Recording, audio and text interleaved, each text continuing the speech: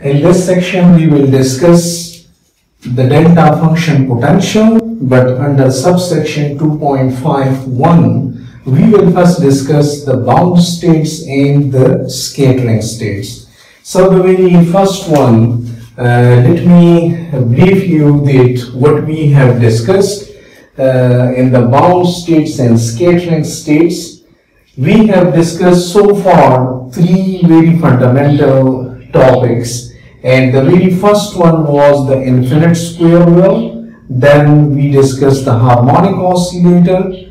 Now both of the infinite square well and the harmonic oscillator were the examples of bound states. And then we discussed the free particle and free particle is an example of scattering states. So let me go back to them that we solved we solved the we solved the Schrodinger wave equation. And this was minus h bar square over 2m d square psi over d x square plus v of x psi and this was equal to e of psi.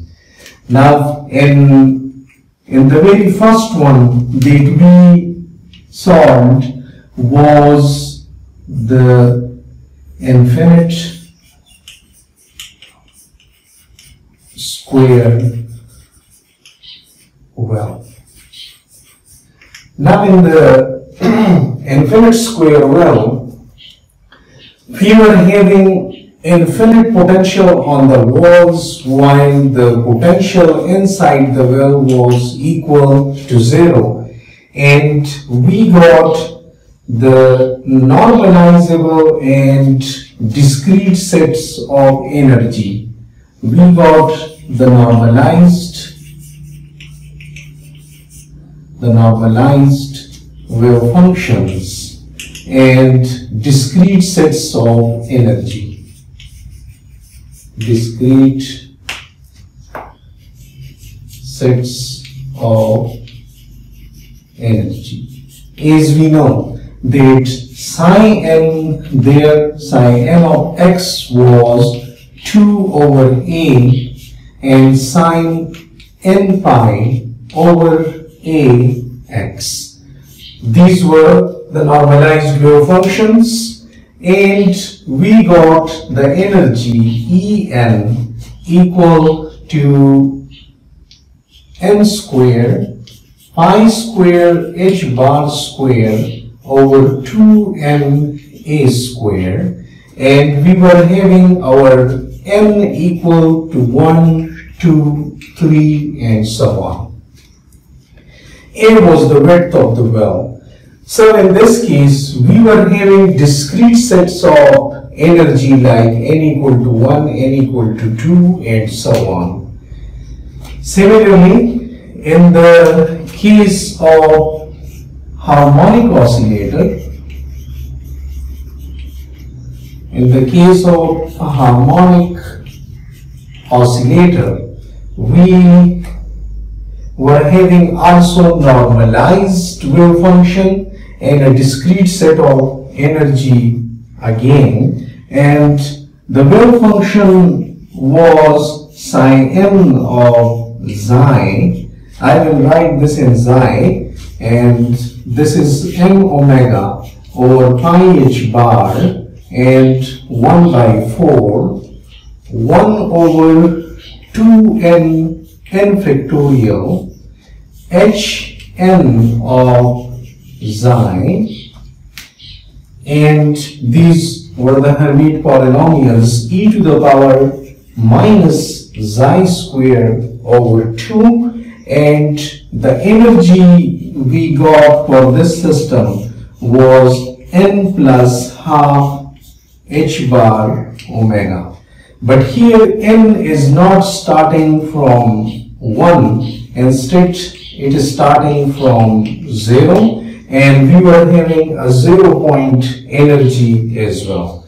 So these two examples are actually the examples of bound states because we are having some discrete sets of energy like the particle is bound to this energy first n equal to 1 then it cannot have any other energy but n equal to 2 energy is possible. Similarly here, n equal to 0 energy is possible, then the other possible energy is n equal to 1. So 3 over 2 h bar omega.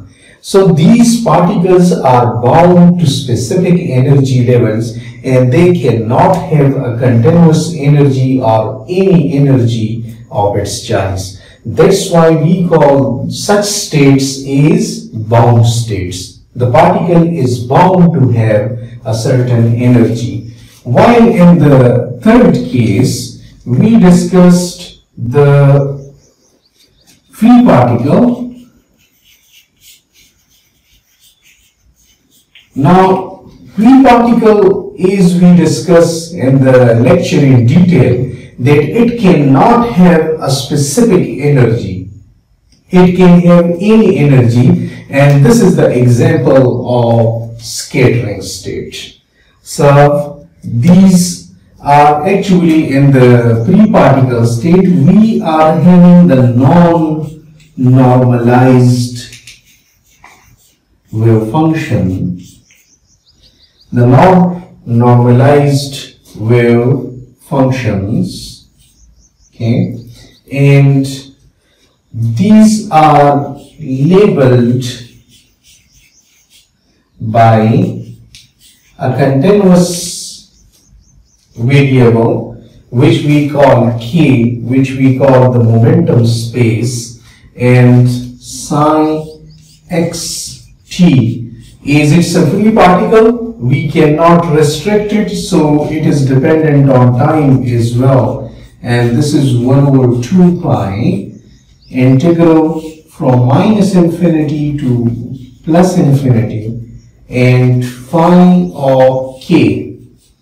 We have discussed in detail about phi of k that we convert it to a momentum space in order to find a wave function, the state of a particle kx minus h bar k square over 2m t and this is in the whole range of dk.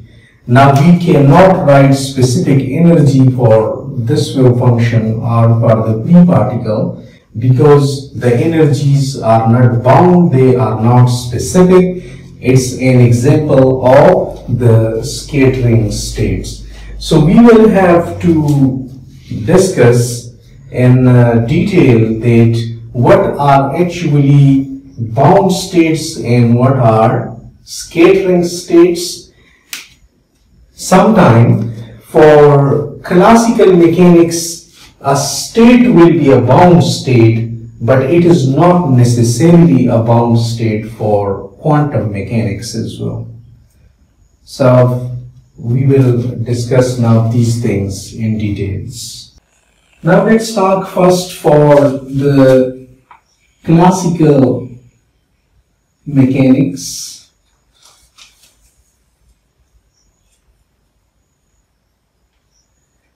In order to understand the bound states and the scattering states, so we first start of the classical mechanics. Let's say we are having a certain potential applied and this is x-axis and we are having a potential applied here. Now if the particle uh, state of motion or the function is like this, that it goes like this and then like this. So for this particle, if the energy of the particle is somewhere at this point. So this is the energy of the particle and now this energy of the particle is less than the potential which is applied on this particle. So this point and this point actually serves as the turning points. These are the turning points because if a particle starts to move here, or as in the book they are having a cart here. So if this cart starts here, then it can move inside this potential because it is having energy here. And up to this point it can move and from this point it will again go back to this point. And the motion will be restricted in this range. And these points that we are having on x here this point and this point we call the turning points and classically we call that this is a bound state. This is a bound state. And now if I consider an example of the uh, inside classical mechanics of a scattering state, then let me discuss it here that on this axis I am having x and here I plot the potential and let's say this is the potential V of x and we are having the state or the function like this. Now on this one let's say is we are having the energy, let's say the energy is at this point, then I can see that the particle cannot go beyond this point. So if a particle or a card start here, then this can come here, this can reach the maximum up to here and cannot go beyond this one. But on this side, there is no restriction it can go on and such a state we call is which is having only one turning point and it is no more bound on the other side. We call such a state is scattering state. According to classical mechanics, it is no more bound there and we call it a scattering state. Another example over this we can consider that let's say let's say a part here the potential is such that it is like this. Now if a particle means this is the function of the particle motion and a particle start from here. So this particle is not bound anywhere. It can is it is inside the energy of it. So it can rise up to this and it can leave it this way as well. And this is also an example of a scattering state because the particle is not turning big. It is no more bound there. But if I consider a very uh, classic example, then let's say we are having the potential applied like this and on this side I am having the x-axis and let's say the motion or the function is like this then down here and then going like this. Now here let's say the energy of the particle is at this point. So the energy is like this. Now here at this point, if a particle starts from here and it goes this way. Now this particle can reach here. This is the one of the point that the particle will be means returned back from this point. So on this side it's a scattering state.